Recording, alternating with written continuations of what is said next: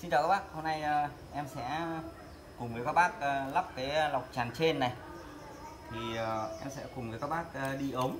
Ở đây thì cái đầu vào em đi ống 21, còn đầu ra em đi ống 27 Thì ở cái lọc tràn trên này nó chưa có lỗ. Nếu mà cái này bằng kính nhá, thì các bác dùng cái mũi khoan kính này, Hoặc bằng nhựa hoặc bằng cái gì các bác dùng mũi khoan kính này nhé Đây là cái mũi khoan kính 21 Còn nếu mà các bác thích lỗ 27 mua 27, thích 34 mua 34 nhá. Cái mũi này này đấy. Bây giờ em sẽ khoan cho các bác xem. Ở đây em có cái mũi này là mũi khoan sắt.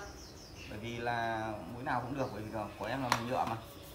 Em sẽ khoan một cái lỗ ở phía đường góc bên này. Để cái ờ, lỗ này vừa là lỗ ra của cái lọc tràn vừa là cái ờ, thổi đáy luôn. Đấy sẽ kết hợp uh, hai cái tác dụng đấy. Bởi vì cái lọc tràn này mình sẽ sau này mình sẽ gác ở trên cái thành bể nhé các bác nhá đấy, bây giờ em sẽ khoan xuống đây.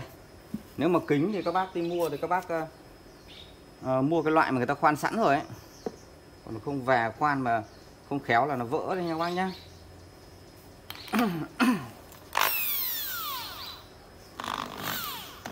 Sẽ xoáy cái gen vào đây.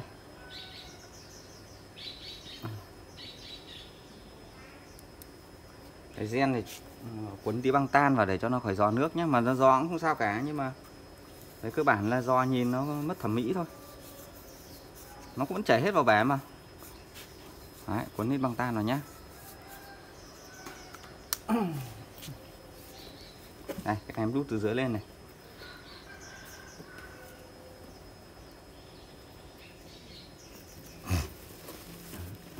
Lại xoáy ở đây.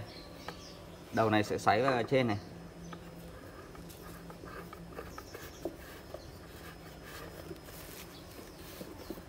Rất chặt lại nhé các bác nha. Kính thì các bác uh, lưu ý nếu mà bằng kính thì các bác nên có một cái răng cao su nhá. Còn này cái này của em nó nhựa nên không cần răng cao su. Đấy. ok. Bây giờ em sẽ vào trong ờ, bể em, em lắp ở đây cái đầu ra này em dùng ống 27 này. Rồi gần đến đáy sẽ dùng một cái cái check check như thế này. Để làm thổi đáy luôn vừa là nước ra vừa là thổi đáy. Thổi bằng check này thì nó nước nó sẽ không bị cản dòng này. Nếu các bác dùng cái góc vuông này này dùng cái góc vuông nó sẽ bị cản dòng nhé. Cho nên là các bác nên dùng check này. Đấy, như này. Ok.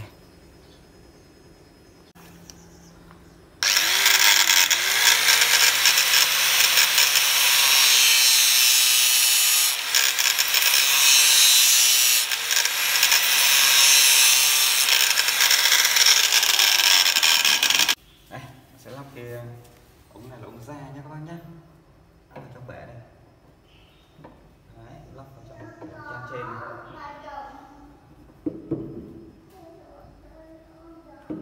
Đấy, lắp vào đây. Không cần thiết phải dán keo đâu nha các bác nhé bởi vì là bởi vì là nó khá là chắc rồi. Các bác không phải dán keo đâu. Đó đây. Cầm cái cốt này vào đây. Quấn lên một hai vòng băng tan để cho nó khít nha các bác nhé. Đấy, xong đó cắm cái ống 21 vào đây. Các bác có thể dùng cái ống điện trắng nhé ống điện trắng thi công mà ống ờ, đi âm tường ấy em dùng cái ống này cũng được. Ống này ok mà. Đây giờ mình sẽ lắp vào phía bên này. Bơm lắp vào phía bên này nhé các bác nhé. Lắp sát riêng thành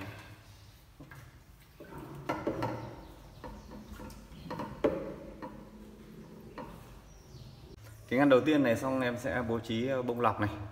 Sang ngăn thứ hai là cái sứ thanh này.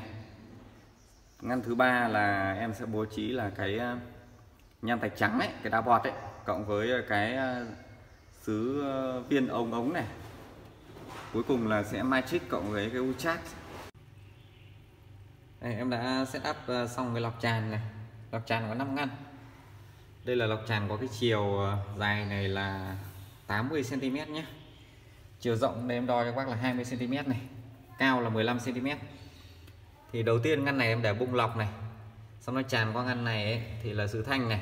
Tràn qua ngăn này ấy, thì gồm ờ, một thanh sứ thanh rồi ờ, đá đây là đá bọt hay còn gọi là nham thạch trắng đấy. Qua đây thì em lại đặt một thanh thanh sứ thanh nữa. Thì ở đây nó có magic này magic các bác nhìn trắng trắng kìa cộng với ờ, cái hút rác này. Qua đây em cho một tấm di mát này và một số cái ờ, thanh ờ, sứ này để kê cho nó đầy. Cái di mát này để làm gì? Tại sao nó không đặt ở ngăn đầu tiên mà đặt ở đây?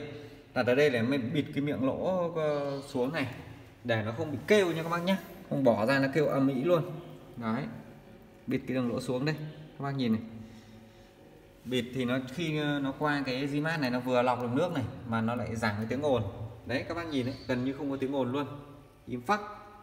Đấy thì hiện tại em mới thả mấy con ờ, ping pong này con gian chu này rồi mấy con uh, cánh buồm. Đây em còn chưa cho vi sinh luôn.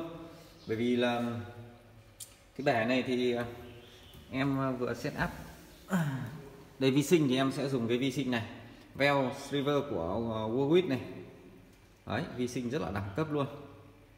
Chai này thì dùng cho cả hồ cá coi lẫn cá cảnh rất là đẹp. Cọc trà này nó có nắp nha các bác nhé đẩy vào rất là thẩm mỹ luôn đó Vâng, xin à, cảm ơn các bác đã ghé thăm à, clip à, trên kênh sáng tạo. Em giới thiệu cái quy trình lắp đặt cái lọc tràn trên đây.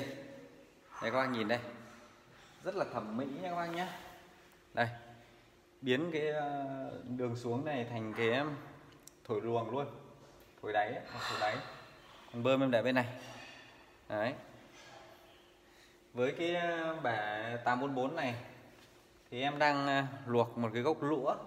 Sau này em sẽ đặt ở giữa này. Có thể chơi nền thủy sinh hoặc là chơi à, bình thường nuôi cá bình thường. Đều ok nha các bác nhé.